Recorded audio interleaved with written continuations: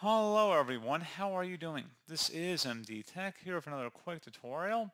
In today's tutorial, I'm going to show you guys how to hopefully resolve you're coming across an issue with your Google Chrome browser that the class not registered with the chrome.exe or Chrome executable. So this should hopefully be a pretty straightforward process here guys on how to resolve it. And without further ado, let's go ahead and jump straight into it.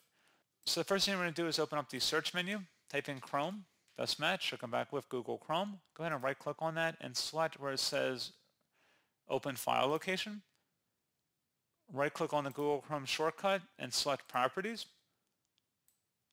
Select compatibility and then select where it says run compatibility troubleshooter.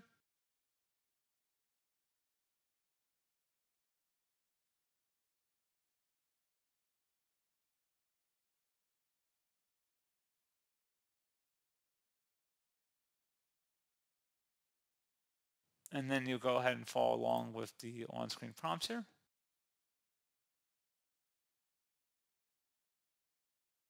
And then hopefully if you attempt to launch Chrome once that diagnostic has concluded, hopefully your issue should have been resolved at this point.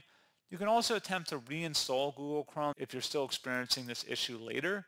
So just a couple different things to keep in mind. And as always, thank you for watching this brief tutorial. I do hope I was able to help you out, and I do look forward to catching you all in the next tutorial. Goodbye.